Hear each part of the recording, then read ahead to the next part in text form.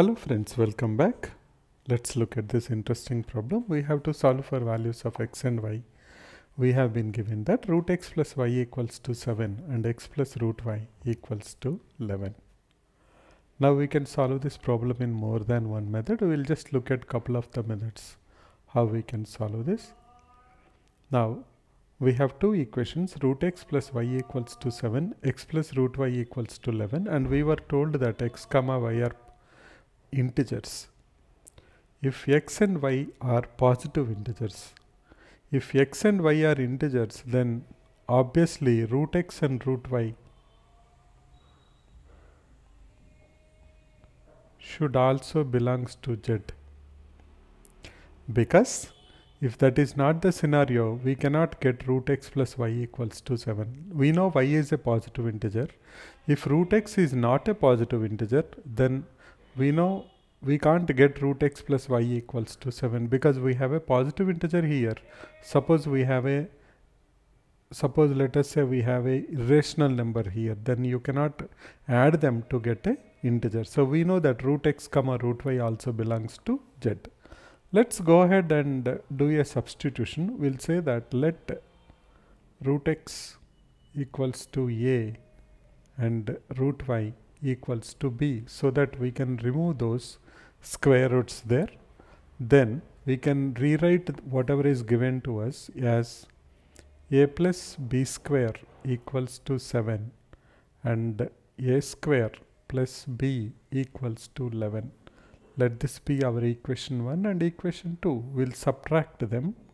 We'll write down 2 minus 1 will give us a square plus b minus a minus b square equals to 4.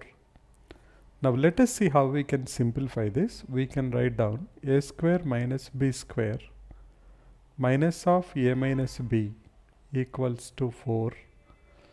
We can write it as a minus b into a plus b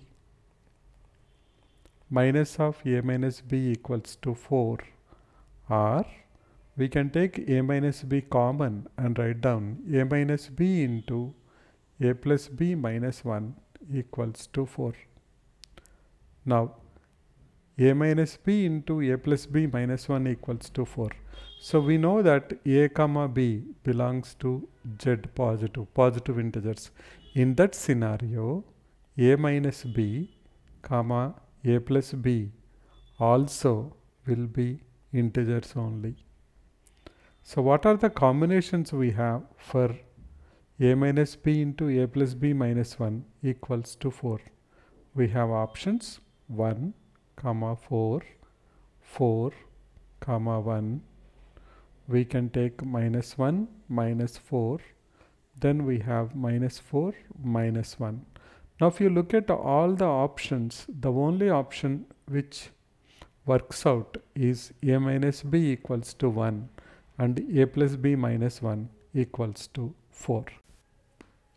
So we have a plus b minus 1 equals to 4 and a minus b equals to 1.